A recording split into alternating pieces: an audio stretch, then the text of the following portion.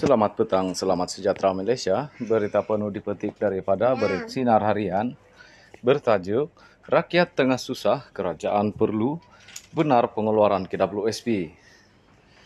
Berita penuh, Batu Pahat, Ketua Pembangkang Datu Sri Anwar Ibrahim menyokong pengeluaran simpanan KWSP kerana rakyat di Johor meminta terbantuan mengutarakan perkara terbabit dalam seri jelajahnya sempena pilihan raya negeri PRN. Ahli Parlimen Port itu turut menafikan bahawa pendiriannya berubah berbanding sebelum ini bahawa pengeluaran KWSP itu tidak boleh diberikan laluan muda. Jelasnya pihak tidak setuju pengeluaran KWSP sebelum ini dengan syarat jika kerajaan membantu memberi ganti rugi banjir yang dialami oleh rakyat.